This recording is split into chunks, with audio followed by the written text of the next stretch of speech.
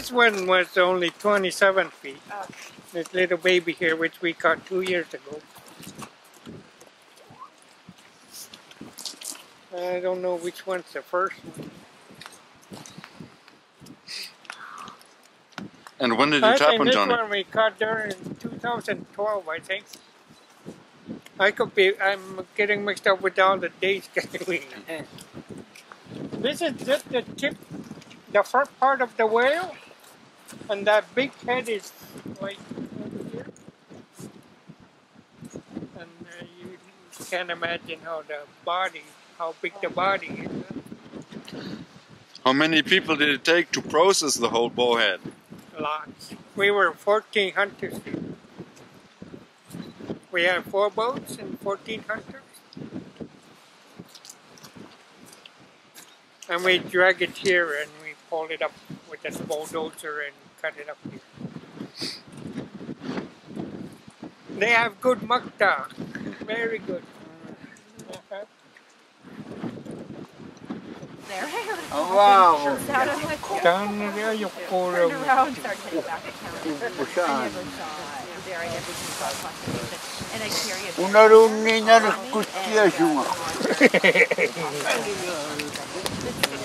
kutya suma. Part of it was wrong, just part didn't do anything. So we had to kill it the traditional way with our spear, which is a long spear with a sharp end.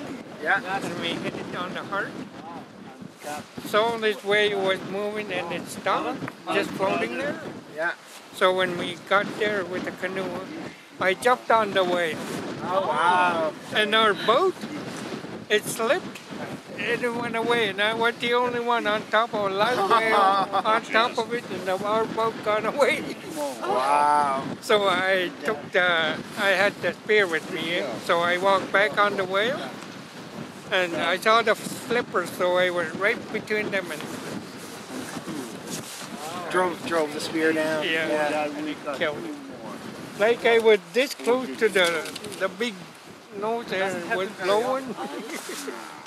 that was fun. How long does it take to catch it? Ay, takbo ng Egypto niya ako. Come on, a lot of work on these pictures. How long did it take you guys to process the whole whale, to take the blubber and everything? Here it took about two days or so. But we have a lot of people here. But the ones we caught last year, it take- took us a little while because we had to wait for the tide to go down to cut it up. It's like a spear. It is furry ones, Yeah. furry hair. They're baleens. They go all the way down to the Yeah. boat mouth.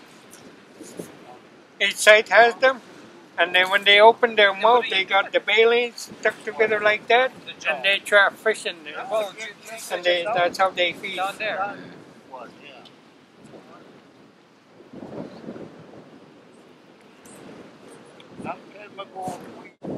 Okay, this is the baleen that was on top of the whale.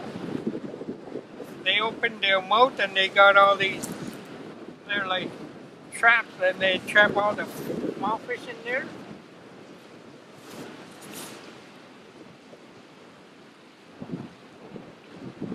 Let's see how furry they are. right? And so they catch their fish in here and this one.